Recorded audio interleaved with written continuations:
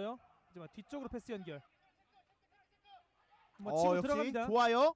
크로스 올려줬습니다. 반대편. 자 박스 자, 안에서 second ball인데요. 어 자, 넘어졌는데. 넘어졌습니다. 찍었어요. 어. 자 페널티킥이 선언됐습니다. 자 일단은 일단은 오랜만에 라인업에 올라왔거든요. 자, 안은산 슈팅 가운데로 꽂아 넣었습니다. 안은산의 선취골.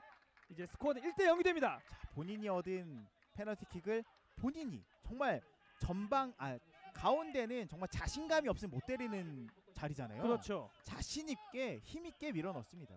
자 완벽하게 가운데를 갈랐고요.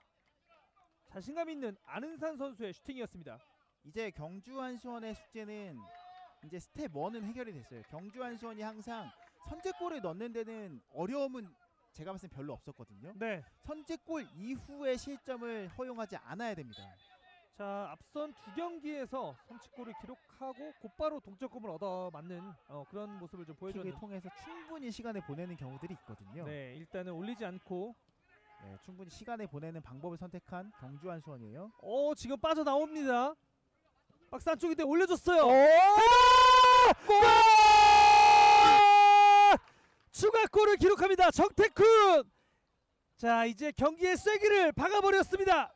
앞서서 저희가 시간을 보내는 방법을 선택한 경주 한수원이다 이런 말씀을 드렸었는데 네. 오히려 앞서서 양주 시민이 보여줬던 것처럼 시간을 보내는 척하다가 빈틈이 보이니까 손경환 선수가 그냥 빠르게 돌파 이후에 정태쿠 선수 머리 보고 올려주면 저런 거 쉽거든요. 자 이거는 이거거든요. 굉장히 허를 찔렀습니다.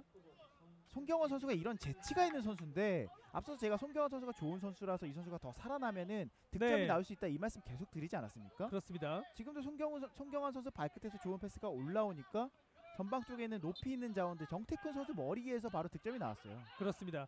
자